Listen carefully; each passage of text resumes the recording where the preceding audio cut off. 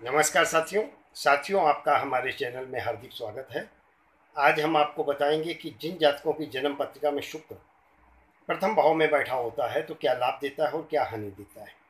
साथियों, यदि अभी तक आपने हमारा चैनल सब्सक्राइब नहीं किया, प्लीज़ कर लें, ताकि ऐसी तमाम जानकारी भरी वीडियो आपको समय समय पर देखने को मिलती रहे।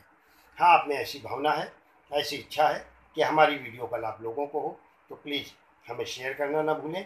आइए, आज हम आपको बताते हैं जिन जातकों की जन्म पत्रिका में शुक्र प्रथम भाव में बैठा होता है, वो कैसे, उनमें क्या क्या लाभ होते हैं उन्हें और क्या क्या हानियाँ जीवन में उठानी पड़ती हैं?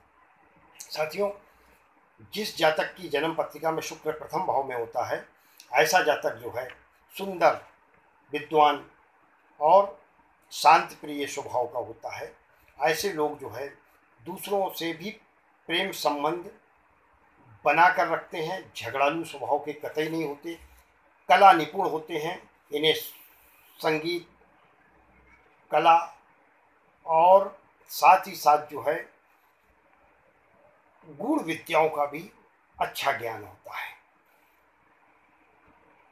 जिस जातक की जन्म पत्रिका में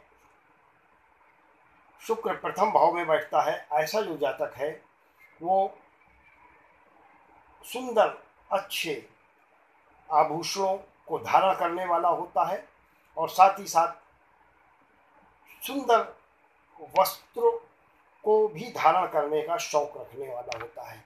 ऐसे लोगों की जो है आयु जो है, वो अधिक होती है, यानी कि दीर्घ आयुष का इन्हें योग भी प्राप्त होता है।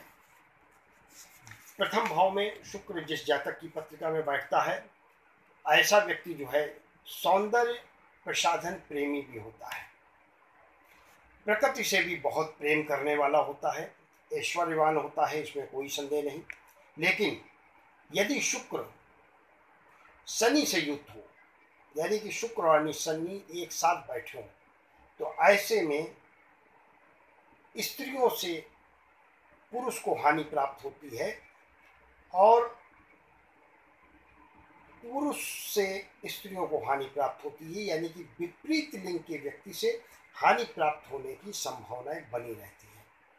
तो साथियों, यदि अभी तक आपने हमारा चैनल सब्सक्राइब नहीं किया है, प्लीज़ कर लें, ताकि ऐसी ही तमाम जानकारी भरी वीडियो आपको समय समय पर देखने को मिलती रहे। हाँ आप में ऐसी भावना है, ऐसी इच्छा है कि हमारी वीडियो का लाभ लोगों को हो तो प्लीज़ हमें शेयर करना ना भूलें। ईश्वर आपको हमेशा सुखी रखे, संपन्न रखे वैभवशाली रखे धन्यवाद।